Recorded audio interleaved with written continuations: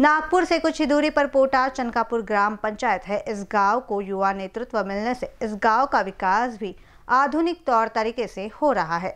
इस गाँव के सरपंच पवन रमेश धुर्वे गाँव की हर समस्या को हल करने का प्रयास करते हैं।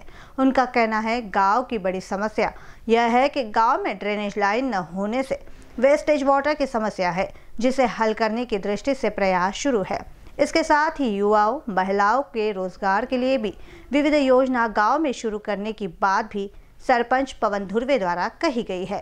मी आता गावामध्ये ड्रोन मॅपिंग आणि आमच्या वार्डमध्ये खूप प्रॉब्लेम आहे.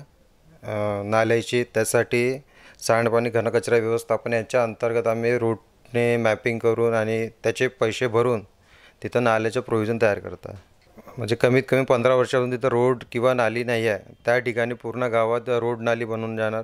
दुसरी गोष्ट तिथं कचऱ्याचं खूप मोठं प्रमाण वाढलेलं आहे. त्यासाठी कचऱ्याचे यार्ड तयार करायचे आहे. आणि त्याच्यानंतर सोलार सिस्टम तिथं तयार करणार आहे. इलेक्ट्रिसिटी मुक्त गाव मला त- करायचा है अभी तक तो मैंने सिर्फ प्लानिंग किया हूँ. एक साल में मेरी ट्रेनिंग हो गई है अभी तक.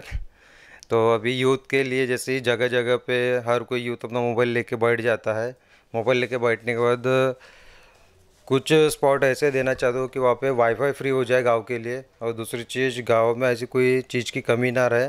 त्याच्यासाठी मी एक डायरी नोट डाऊन तयार केली आहे. त्याच्यामध्ये एक एक सिक्वेन्स वाईज मी माझे काम पूर्ण करा करणार आहे. त्याच्यामध्ये सर्वात आधी तर सोलार आहे.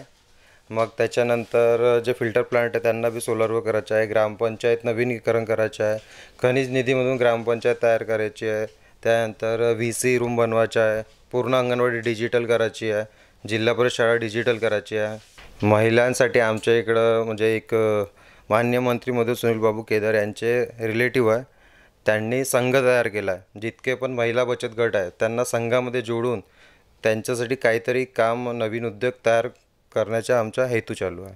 त्यासाठी आम्ही संघ तयार केले आहे. त्याच्यात महिला बचत गटांमधून महिलाचे जे बचत गट आहेत त्यांना त्या संघामध्ये जोडून त्यांना तिथे काम देण्यासाठी त्यांना प्रवृत्त करत आहे